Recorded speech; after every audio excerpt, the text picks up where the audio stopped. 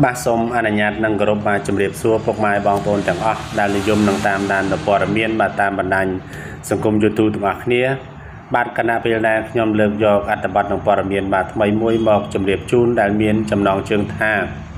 ក្តៅក្តៅព្រះរាជអាជ្ញា សម្រាប់ចោតប្រកាន់លោកសវណ្ណរិទ្ធីអគ្គនាយក TVSB ពីបទ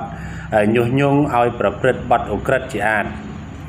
បាទមុនចូលទស្សនានឹងតាមដានព័ត៌មានបាទសូមប្រិមិត្តកុំភ្លេចបាទជួយ like Subscribe និង Share និងសញ្ញារូបកណ្ដឹងដើម្បីទទួលបានព័ត៌មានថ្មីថ្មីជារៀងរាល់ថ្ងៃបាទភ្នំពេញដាក់នាំពាក្យសាលាដំបងរាជធានីភ្នំពេញឲ្យដឹងថាលោកប្លង់សុផលព្រះរាជអាជ្ញាអមសាលាដំបងរាជធានីភ្នំពេញ នៅព្រឹកថ្ងៃទី9ខែមេសាឆ្នាំ2020នេះបានសម្រេចចោទប្រកាន់លោកសវណ្ណរិទ្ធីពីបទញុះញង់ឲ្យប្រព្រឹត្តបទឧក្រិដ្ឋជាអាតហើយបញ្ជូនទៅកាន់ចៅក្រមស៊ើបសួរចាត់ការបន្តនីតិវិធី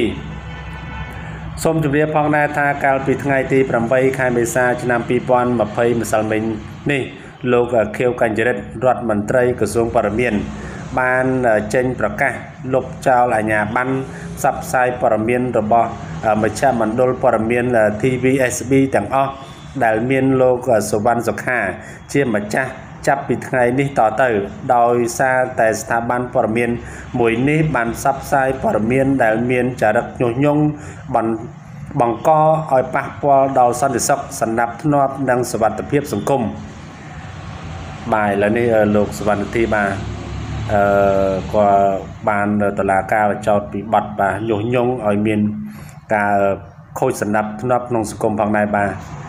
បាទសូមថ្លែងអំណរគុណប្រិមិត្តដែលបានតាមដានព័ត៌មានបាទសូមអរគុណនិងសូមជម្រាបលា